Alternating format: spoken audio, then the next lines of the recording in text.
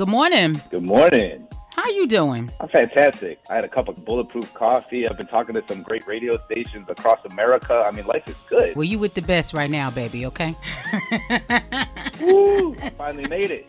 Finally made it. You feel me?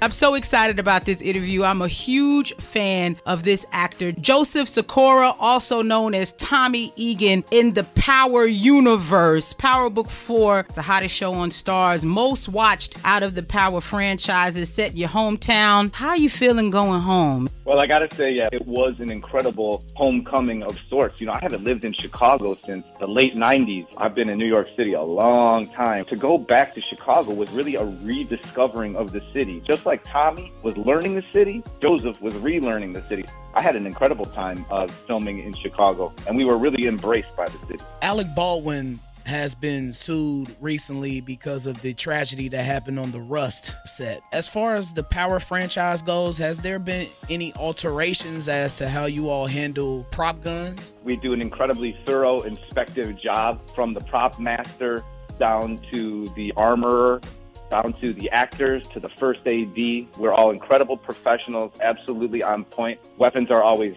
checked, double checked, and triple checked. I'm sure there was an influence from Rust, but even pre Rust, so many of the effects for safety's sake, because the technology has advanced so greatly, have been put in in post. So a lot of the gun flashes, a lot of the blood, a lot of the things that you usually expect to be physical manifestations of the effects are now done in post.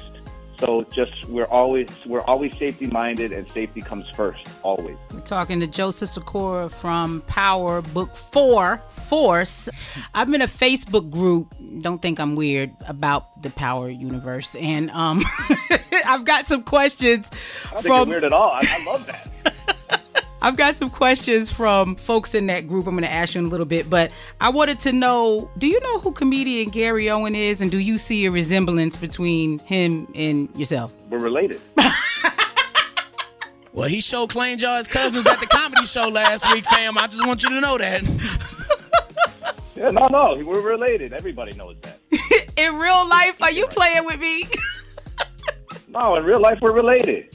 How? He's Gary's second cousin, Gloria is actually married to my sister Amy, and my sister Amy's roommate went to college with the niece of Gary's grandmother on his father's side. Whatever. See, this is why we love you.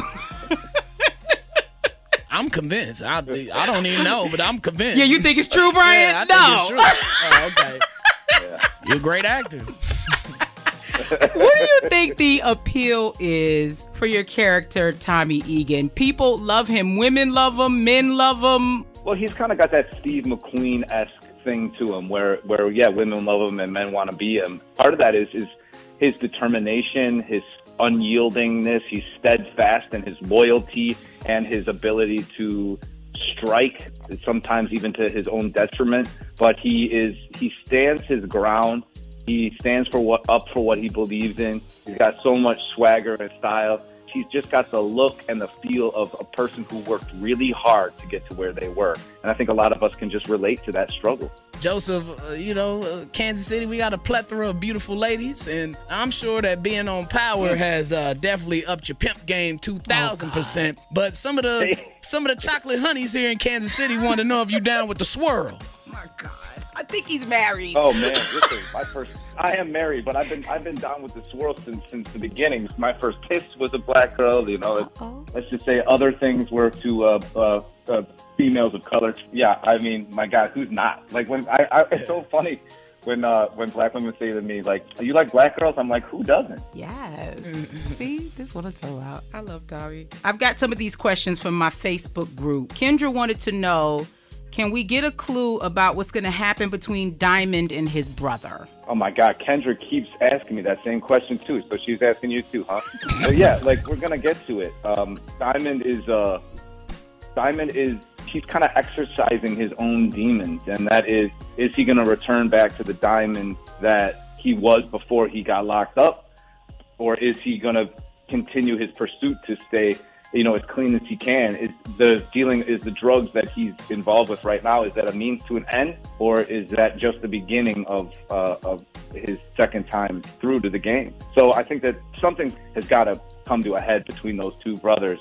Like Diamond said in episode three when they went in that boxing ring, if we do this now, there's no going back. And Jenard, played beautifully by Kris Lofton, says, "Yeah, but there's no going forward if we don't. We're, we're heading down that road, and I don't think that there's uh, they're burning a bridge behind them." Here's another question from the Power Hour, the Night Shift Facebook group I'm a part of. They want to know: Are Tommy and Liliana gonna hook up?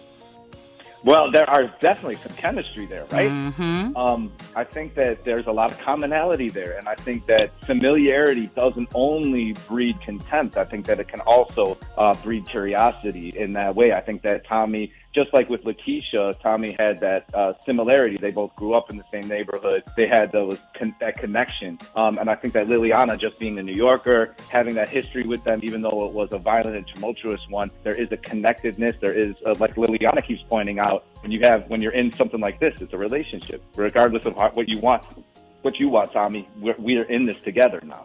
I'm definitely interested to see uh, how that uh, relationship develops and, and, and buds and blossoms. Joseph Sikora, we thank you so much for calling up this morning. This is my Sunday routine to make myself some breakfast and sit down and watch you know, I don't wait till it come on at eight o'clock. I look at it because I got the Starz app. No, you got that Starz app. yeah, I'm not mad at you for that. She ain't got no discipline either, man. Leave me alone. Joseph Sikora, thank you so much for joining us, fam. We appreciate your time. Have a good one. Thank you, guys. Anytime. I'll see you in person next time I'm through there because I got to eat some gates next time uh, I'm in Kansas. Oh, boy, look. We got presidential platter, please. We got you.